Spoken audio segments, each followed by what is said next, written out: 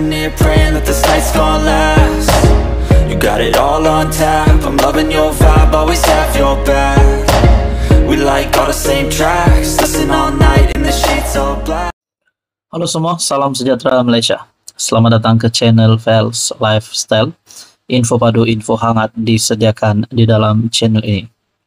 Tonton dan Bapak yang amat dihormati, seperti yang kita tahu, Perdana Menteri Datuk Seri Anwar Ibrahim akan memburu semua jerung-jerung besar, semua jerung-jerung perasuah yang cuba mencuri harta negara yang coba mencuri harta rakyat.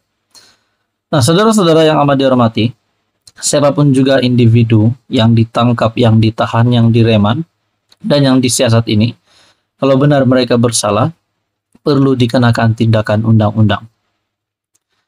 Nah, seperti yang dinyatakan dalam satu artikel ini, saya rasa ini mungkin salah satu juga pencarian jerung. Artikel daripada astrawani.com Ketua Jabatan Pengarah Syarikat di Reman bantu siasatan tuntutan palsu.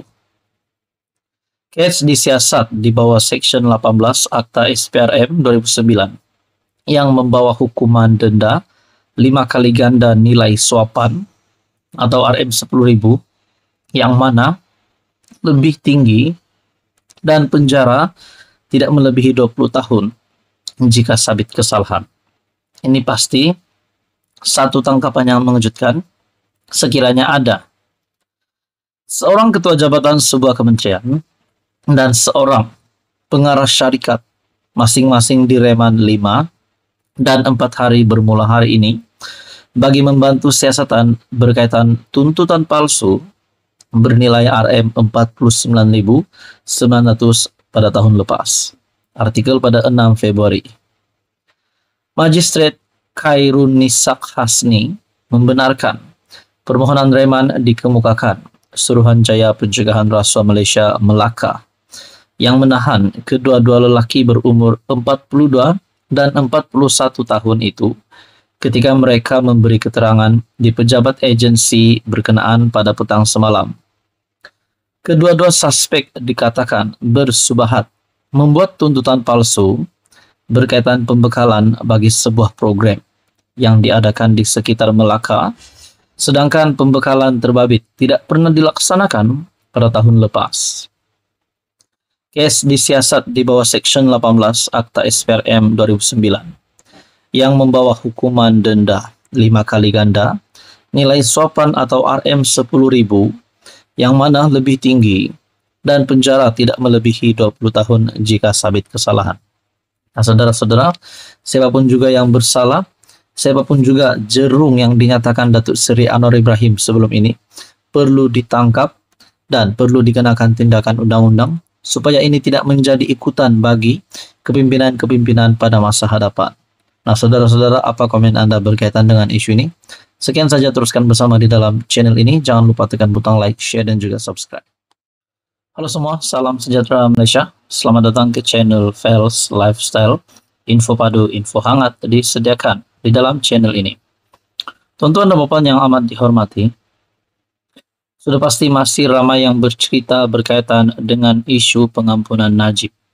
Sudah pasti ada yang mengkritik, ada yang mengecam, dan ada yang tak puas hati. Nah, di antara mereka yang tidak puas hati sebenarnya daripada kalangan AMNO ataupun Barisan Nasional sendiri.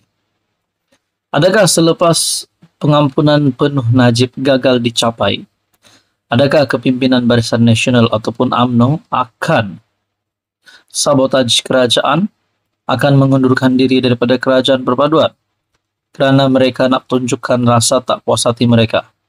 Mungkin bukan daripada kepimpinan tertinggi AMNO BN, tetapi mungkin bermula daripada akar umbi ataupun pemimpin-pemimpin BN yang di bawah Presiden AMNO. Nah, semua ini menjadi persoalan. Namun saudara-saudara yang saya amat hormati, saya melihat dalam satu artikel daripada FMT menyatakan ada ketua bahagian mahu AMNO tarik diri daripada kerajaan perpaduan. Persoalannya adakah kepimpinan tertinggi AMNO Barisan Nasional yang dipimpin Zahid Hamidi bersama dengan beberapa ahli parlimen Barisan Nasional AMNO yang lain? Adakah mereka mahu menarik uh, sokongan daripada kerajaan? Bagaimana pula dengan status AMNO sekiranya mereka menarik diri? Adakah terdapat ahli parlimen daripada AMNO ataupun Barisan Nasional yang ingin menarik sokongan daripada kerajaan perpaduan susulan keputusan pengampunan penuh Najib tidak tercapai? Artikel ini, gesaan menarik sokongan daripada kerajaan dizahirkan pada perjumpaan tertutup dengan Zaid Hamidi menurut sumber.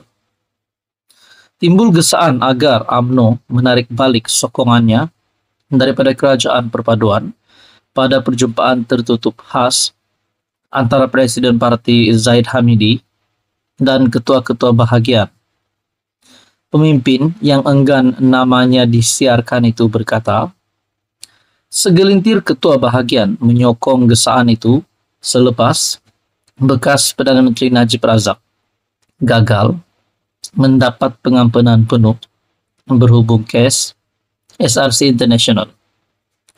Bagaimanapun beliau berkata, langkah menarik diri daripada kerajaan perpaduan berisiko untuk parti itu. UMNO ketika ini bukan dalam kedudukan yang baik. Kita akan hilang kekuatan dan kuasa tawar-menawar jika menarik diri daripada kerajaan, katanya. Beliau berkata beberapa kumpulan ketua bahagian turut menghubungi Zahid secara pribadi berhubung perkara itu.